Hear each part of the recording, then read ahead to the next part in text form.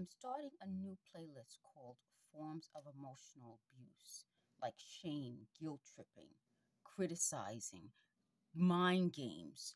Because part of what's the, the part of the problem with this voice to skull, in addition to the physical aspect, is the psychological operation. So the idea that someone is running a psychological operation while they're abusing you, while they're causing you to do, to to act out, while they're encouraging violence, while you're losing everything. And I uh, want to link in the description box someone who did a video about his voice to skull and when he first heard it. And if you read the comments, his replies are interesting because I asked him, how come he didn't think it was his mind? And I know why I didn't think it was my mind. And I would like you guys to read that comment because I'm wondering how come some people confuse the voice to skull with what they're thinking and some people realize that's not my thought. So they keep talking about how this this didn't work the same way here as it did where they are. And like I told you guys, and I've said this before, in fireproof buildings, and I think I mentioned it, it echoes. So they weren't doing it the same way. And I think I said this in a, years ago in a video, probably in 2021. That's how this didn't work because sound travels different in a fireproof building. For you guys who probably know more about this than I do, you'll know. So what they're saying right now, and I'm going to try to stop doing it, you know, that way while because it's picking up my answers to them as they're talking in real time. I get 24/7 real time voice to skull, V2K, voice of God. That's a big deal. So as I'm talking to you and they're talking, and sometimes I'm replying to them, it confuses everything. So even you know when I'm doing the videos, I told you I'll try to write it down, but sometimes that's hard because what they'll do is as I'm writing or reading, they'll read along to it. So it's about confusion. But in these types of buildings, and I'm wondering whether you know, I wish someone, not me, because I'm not going to do it, would do a, real study of all the people who said they're targeted who get voice to skull to find out where most of us live.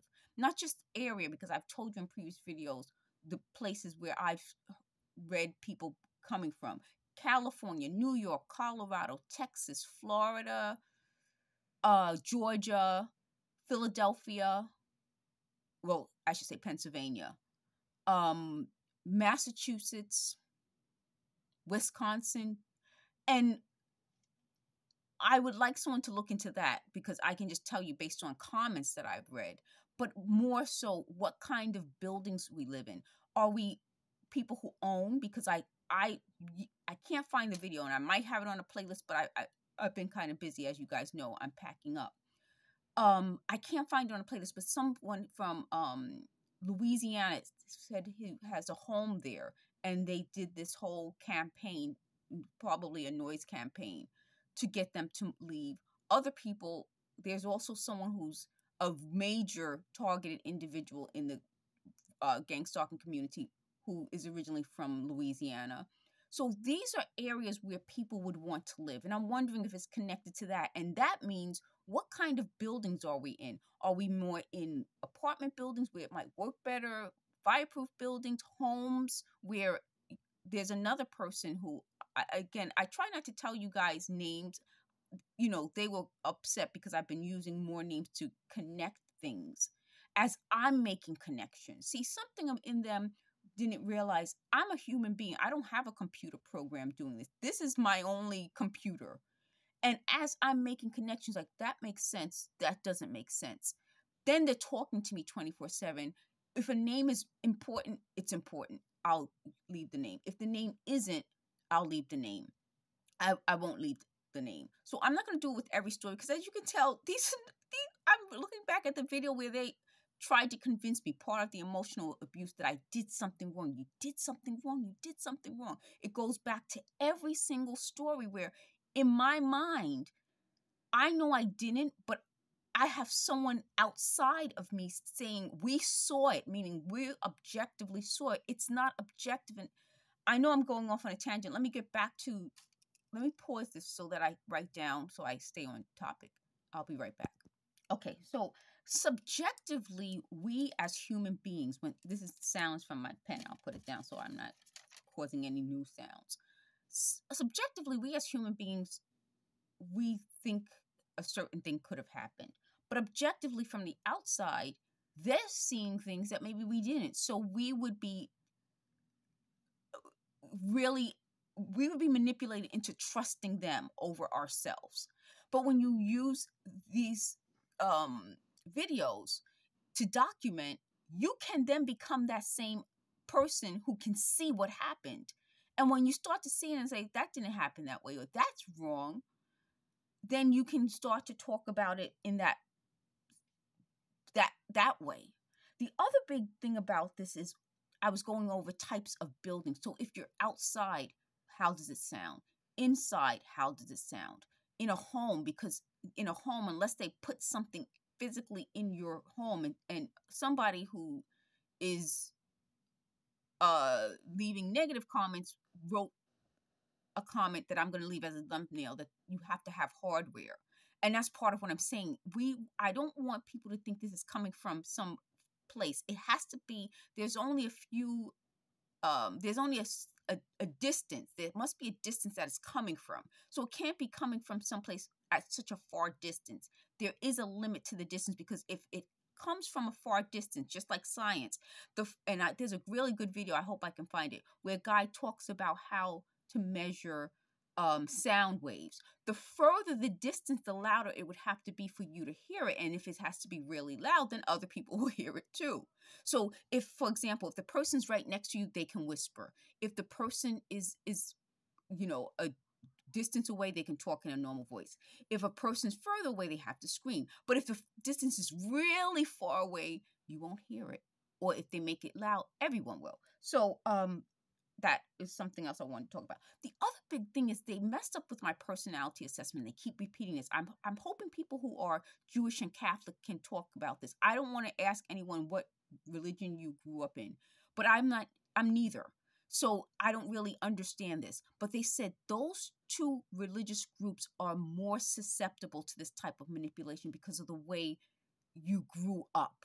So when we're talking about this and talking about forms of emotional abuse, and why that starts to make sense is because if you grew up in a certain type of religious um a religion and that makes you susceptible to love god and they use psychological um techniques that involve using love religion and i've said this repeatedly religion then if you're more susceptible to this then i would think you would they someone was they're talking again.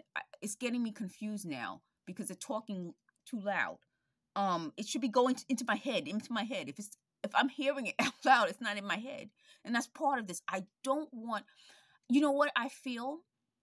I feel like as this is coming out and more people with far more life experience skills people who were in um in um what you call it what's that when you're in intelligence? Those type of fields are talking about it. they know more about this than i ever could. I'm learning from them. I'm learning from people who have been victims a long time.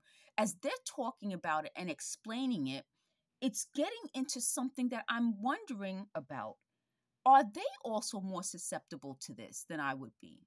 Meaning if you're in an intelligence organization where you it's involving spying secrets you know they just said something again.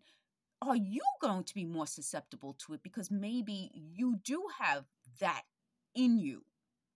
So, is it time now for the rest of the world to understand that human beings should not be subjected to this at all? But if you have a job that requires you to deal with this and know it, and then something happens, I don't know what, and you're not supposed to talk about it, or maybe you're being targeted for whatever reason, are you more susceptible? So I want to talk about that. So, forms of emotional abuse. What types of buildings and, and living places are people in? What areas are you in? Are you in areas where people want your apartments, your homes, your land?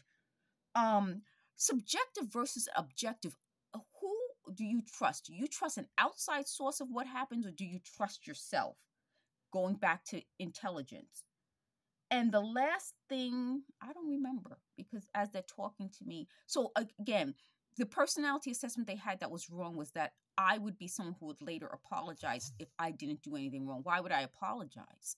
And I think what we're doing for everyone who's targeted is we're making sure that people understand you shouldn't be subjected to emotional abuse. It's wrong. It's illegal. It's a crime. We we don't emotionally torture anyone and think it's okay. So that's probably why it had to be secret and it had to be done mainly in your home where no one would be witness to it.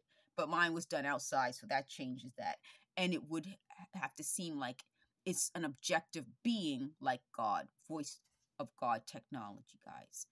Thank you, thank you, thank you. I'll do more videos soon.